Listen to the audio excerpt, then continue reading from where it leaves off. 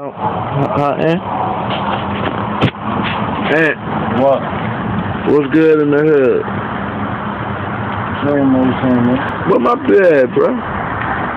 You the one say you was I heard you about a fight last week. for what? You in Hollywood got into it bad. I would never fight like So why you grab that man neck then? because I just had to show him What you had to show him? That you can't just beat me out my money. You barely can move. How you gonna beat him on the moon? I'll snatch you right now. And you can't defend yourself. Shit. Boy, I'm a Christian. You're a Christian, Fucking right. and you be a Christian on the ground.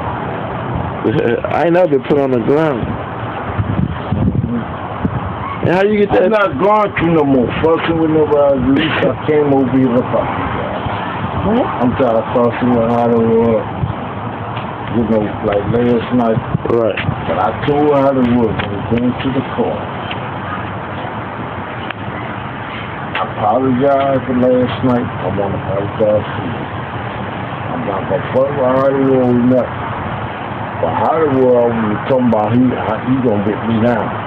You can't have that. And then, now here you come. No, I'm helping up for you, Ant.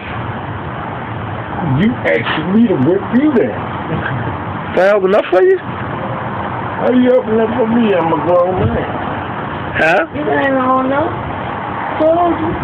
And it's seven thirty two. That motherfucker.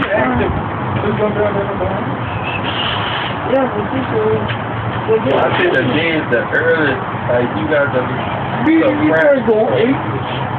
I can